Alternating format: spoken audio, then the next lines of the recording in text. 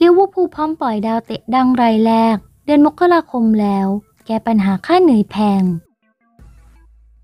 ความเคลื่อนไหวของสโมสรลิเวอร์พูลหลังผ่านไป 6 เกม มี 16 คะแนน ถูกฟุตบอลอินไซเดอร์รายงานว่า พร้อมปล่อยตัวติอาโก้ อัลกันตารากองกลางทีมชาติสเปนออกจากทีม เพื่อจะลดเพดานค่าเหนื่อยที่รองรับอยู่ ติอาโก้ รับค่าเหนื่อยต่อสัปดาห์อยู่ที่ 200,000 ปอนด์ ซึ่งเป็นรองแค่โมฮาเหม็ดซาลาห์ กับเฟอร์จิลฟานไดค์เพียงสองคนเท่านั้นในทีม โดยที่ผ่านมาประสบปัญหาอาการบาดเจ็บอยู่ตลอด ที่บริเวณสะโพก ซึ่งซีซั่น 2022-2023 ลงสนามในพรีเมียร์ลีก โดยการเป็นตัวจริงแค่ 14 เกมเท่านั้น โดยซัมเมอร์ที่ผ่านมาแทร็บซอนสปอร์ยอดทีมจากตุรกีสนคว้าตัวแข้งวัย 32 ปี แต่สุดท้ายหงแดงตอบปฏิเสธไป ฟอร์มโดนใจ คล็อปป์ชื่นชมสี่แข้งลิเวอร์พูลเกมอัดเวสแฮมศึกพรีเมีลีกเจอร์กินคอปกุนซือลิเวอร์พูลออกมาเปิดใจหลังพาทีมเอาชนะเวสแฮมยูไนเต็ดในศึกพรีเมียร์ลีกอังกฤษนัดล่าสุดโดยเขาที่กล่าวว่า ใช่ มันเป็นไปตามที่เราคาดไว้เลย ว่ามันจะเป็นเกมที่ยาก แต่เราก็มีเกมที่ดีจริง ๆ โดยเฉพาะอย่างยิ่ง การโต้กลับครึ่งหลังเราเล่นได้ดีขึ้น สร้างปัญหาให้พวกเขาได้จริง ๆ และทำประตูที่สุดยอดได้ ดาร์วินนูนเยซ คือตัวอันตรายอย่างแท้จริง เขาดูดีขึ้นมาก ผมไม่อยากลืมใครเลยนะ เคอร์ติสโจนส์ เฟอร์จิลฟานไดค์ และแอนดูโรบสันล้วนทำได้ดี ทีมดังสเปน หวังเซ็นมิดฟิลด์ส่วนเกินแมนยูเสริมแกร่งบียาร์เรอัลสโมสรแห่งศึกลาลิกาสเปนกำลังพิจารณาถึงความเป็นไปได้ ในการยื่นข้อเสนอคว้าตัวดอนนี่ฟันเดอร์เบก กองกลางชาวฮอลแลนด์ของแมนเชสเตอร์ยูไนเต็ดสโมสรยักษ์ใหญ่แห่งศึกพรีเมียร์ลีกอังกฤษไปร่วมทีมฟันเดอร์เบกแทบจะหมดอนาคตกับแมนยูไนเต็ดไปเรียบร้อยแล้ว หลังจากไม่ได้รับโอกาสจากกุนซือเอริค เทนฮากให้ลงเล่นเลยแม้แต่นาทีเดียว ในซีซั่น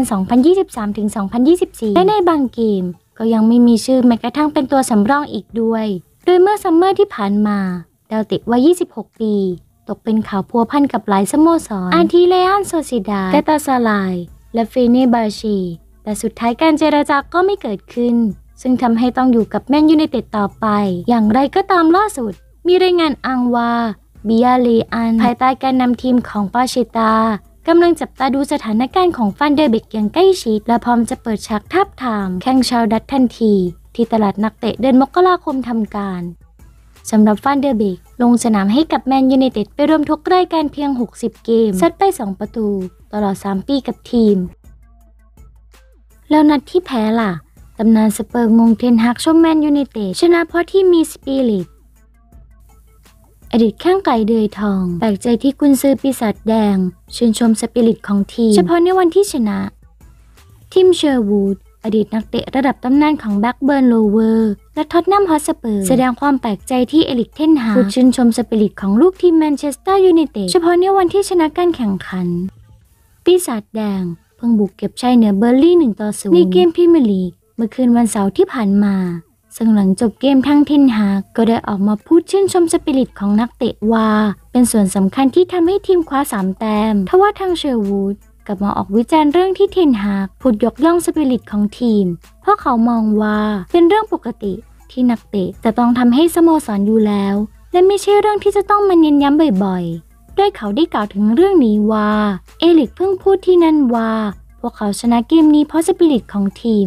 สปิริตของทีมเหรอ คุณกำลังเล่นให้กับแมนยูไนเต็ด คุณเล่นเพื่อเสื้อที่ยอดเยี่ยมสปิริตของทีม จะต้องอยู่ที่นั่นเสมอ นั่นไม่ควรถูกตั้งคำถาม เหตุใดเขาจึงต้องเน้นย้ำถึงจิตวิญญาณของทีมด้วยมันเป็นคำกล่าวที่น่าเศร้า ความจริงที่ว่าพวกเขาไม่ได้เล่นด้วยสปิริตของทีม เมื่อพวกเขาแพ้การแข่งขัน คุณกำลังเล่นให้กับแมนยูไนเต็ด เมื่อคุณเล่นโดยสวมเสื้อตัวนั้น คุณจะต้องทิ้งทุกอย่างไว้ในสนาม และพวกเขาควรทำอย่างนั้นทุกครั้ง มันควรจะเป็นสิ่งที่ต้องทำอยู่แล้ว พวกเขาไม่ควรจะต้องมาเน้นย้ำสปิริตของทีม นั่นคือเหตุผลว่าทำไมพวกเขาถึงได้ผลการแข่งขันที่ดีกับเบอร์ลีที่เพิ่งเลื่อนชั้นมาลิเวอร์พูลใกล้บรรลุข้อตกลงจับสตาร์ตัวเก่ง ต่อสัญญาฉบับใหม่ลิเวอร์พูลสโมสรยักษ์ใหญ่แห่งศึกพรีเมียร์ลีกอังกฤษ ใกล้จะประสบความสำเร็จในการขยายสัญญาฉบับใหม่ กับเทรนต์ อเล็กซานเดอร์-อาร์โนลด์แบ็กขวาทีมชาติอังกฤษ ในอีกไม่กี่วันข้างหน้า ตามรายงานเมื่อวันที่ 25 กันยายนที่ผ่านมา ในฤดูกาลนี้อเล็กซานเดอร์-อาร์โนลด์เพิ่งได้รับการแต่งตั้งจากเจอร์เก้น คล็อปป์กุนซือลิเวอร์พูลให้เป็นรองกัปตันทีมคนใหม่ หลังจากจอร์แดน เฮนเดอร์สันและเจมส์ มิลเนอร์อำลาทีมไป ซึ่งแสดงให้เห็นว่าเจ้าตัว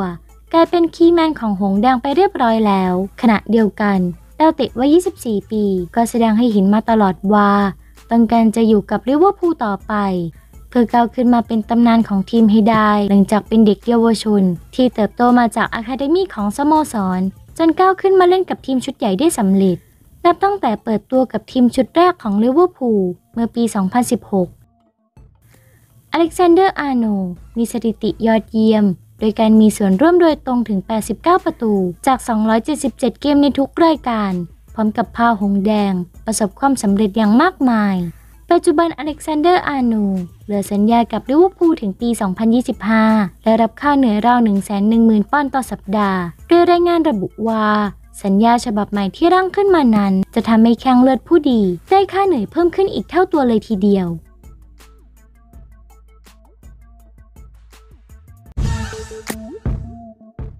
ยอมทิ้ง 9,000 ล้านสื่อดังแฉตัวแก้นขวางซาลาหนีลิเวอร์พูลซบทีมซาอุช่วงซัมเมอร์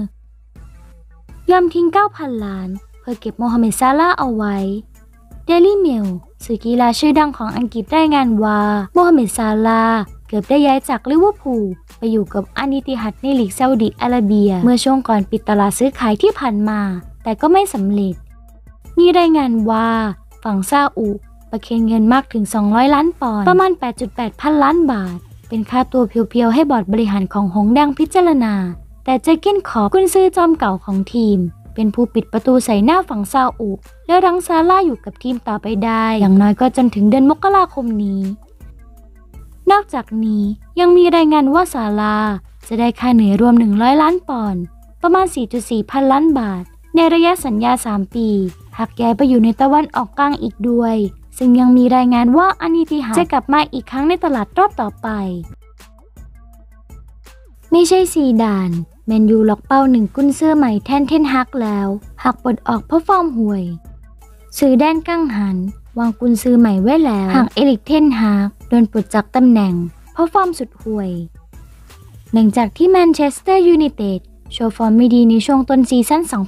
2023-2024 หลังแพ้ 3 จาก 5 เกมแรกในศึกพรีเมียร์ลีกอังกฤษรั้งที่ 13 ของตาราง มีรายงานว่าแมนเชสเตอร์ยูไนเต็ดได้วางเป้ากุนซือคนใหม่แทนที่เอริกเทนฮักไว้แล้ว หากมีการเปลี่ยนแปลง นั่นคืออาร์เน่สล็อตกุนซือของเฟเยนูร์ดยอดทีมแห่งประเทศเนเธอร์แลนด์ ซึ่งสื่อดังกล่าวระบุว่า เทนฮักไม่มีความสามารถที่ดีพอ จะคุมทีมปีศาจแดงตั้งแต่แรกอยู่แล้ว โดยมองว่าสล็อตคือกุนซือที่เหมาะสม แต่เป็นดาวรุ่งที่แท้จริง ก่อนหน้านี้ ชื่อของสล็อตเคยตกเป็นข่าวกับลีดส์ยูไนเต็ดรวมถึงสเปอร์สหลังพาต้นสังกัดปัจจุบัน เป็นแชมป์ลีกสูงสุดแดนกังหันได้สำเร็จ เมื่อซีซั่นที่ผ่านมา